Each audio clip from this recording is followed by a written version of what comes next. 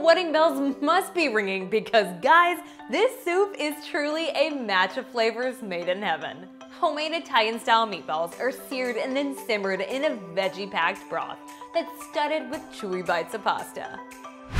And since this is Evolving Table, where we make healthier spins on classic recipes, I'll be sure to show you a few substitutions so that you can easily make this Italian wedding soup gluten-free, dairy-free, or even just a tad bit healthier. So if you're ready, let's jump straight in and get to cooking. I'm not sure if y'all already knew this, but Italian wedding soup isn't actually served at Italian weddings. I know, right? It got its name from the phrase minestra maritata, which means a marriage of ingredients. And in the case of this soup, it's a beautiful marriage of meat and vegetables. So let's start with the meat, or in this case, the meatballs. While you can just buy a bag of the frozen meatballs at your grocery store, the real flavor comes in the soup when you make them from scratch. And if you grab a partner to help you out, they shouldn't take you more than about 10 to 15 minutes to prep. For the meatballs, you'll want to add half a pound of ground sausage to a large bowl. A mild, medium, or hot sausage can be used. Turkey sausage can even be substituted to make them a bit leaner. Half a pound of ground beef. A 93.7 or a 90.10 is best in order to balance out the fattiness of the sausage. Ground turkey can also be used. The combination of ground beef and ground sausage is key in getting that incredible flavor in our soup.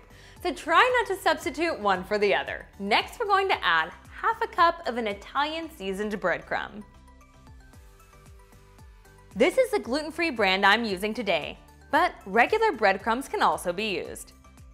Just make sure to toss in a teaspoon or so of Italian seasoning to add that delicious flavor. 1 3rd cup of grated Parmesan cheese, and one large egg that has been whisked. These three ingredients act as the binding agents that will help the meatballs hold their shape while cooking. 1 4th cup of finely chopped fresh parsley, Curly leaf or flat Italian parsley can both be used. 2 cloves of finely minced garlic, 3 fourths teaspoon of salt, and 1 4th teaspoon of black pepper.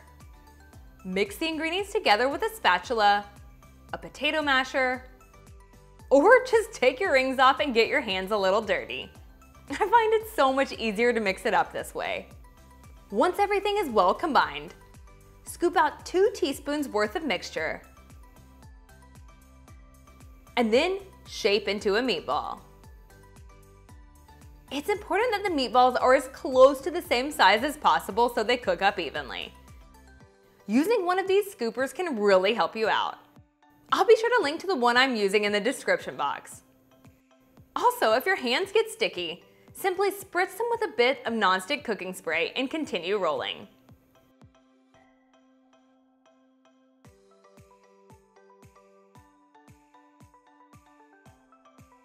You should end up with roughly 48 meatballs. Add 1 tablespoon of oil to a Dutch oven or large pot over medium heat, along with half of the meatballs. Sear for 4 to 5 minutes, rotating every minute or so, or until they are lightly browned on all sides. Remove the meatballs and let them drain on a paper towel lined plate. Repeat with another tablespoon of oil and the remaining meatballs. While that last batch finishes cooking, I'll quickly chop up the vegetables. I'll be using what's called a mirepoix today, which is really just a fancy word for the combination of carrots, celery, and onion. For this, you'll want to peel and finely dice two to three medium-sized carrots to get about one and a half cups. Finely dice three stalks of celery.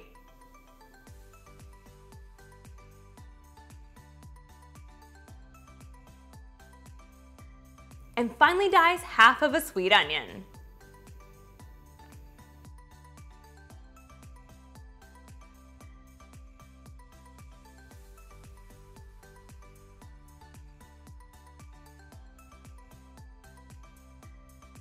Add another tablespoon of oil to the pot along with any remaining drippings from the meatballs.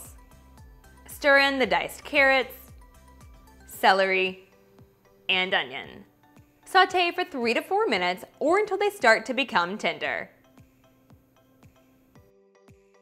Stir in 3 cloves of finely minced garlic and continue cooking for 1 minute. Next, pour in 8 cups of a regular sodium chicken broth scrape the bottom of the pot to release any bits or pieces that may be stuck. This is super important since you don't want any of those pieces to burn while you're cooking the soup. Bring the broth to a boil and then add in one cup of a small pasta.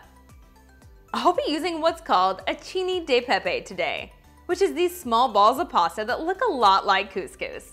But you can also use orzo pasta if this one is hard to find. Feel free to substitute with a gluten-free pasta variety if needed. Then, add in half a teaspoon of salt to taste, 1 4th teaspoon of black pepper, a pinch or two of red pepper flakes. This is totally optional and can be left out if you don't want any spice. And then carefully add in the meatballs. They tend to splash if you add them in by hand, so you might want to grab a spoon to slowly lower them into the hot broth. Give the ingredients a good stir. Cover the pot with a lid and then reduce the heat to medium. Simmer the soup for 7 to 9 minutes or as long as the pasta package directions indicated. Once the meatballs and pasta are cooked through, toss in 3 cups of spinach that has been roughly chopped and stir until well mixed.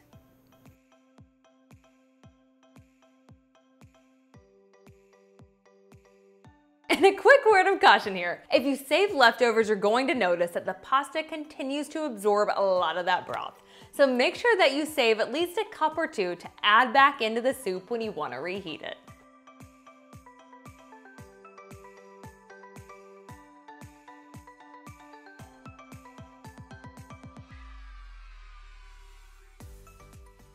Gotta get a good bite with a meatball.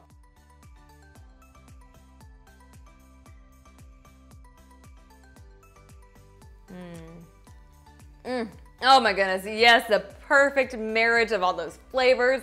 It's so good. And guys, I, I think it's even better than any of the kind that I've ever had at a restaurant. But I'd love to hear what you think. Make sure that you let me know in the comments. And if you want a few more cozy comfort food ideas, make sure you check out these other healthy fall and winter recipes.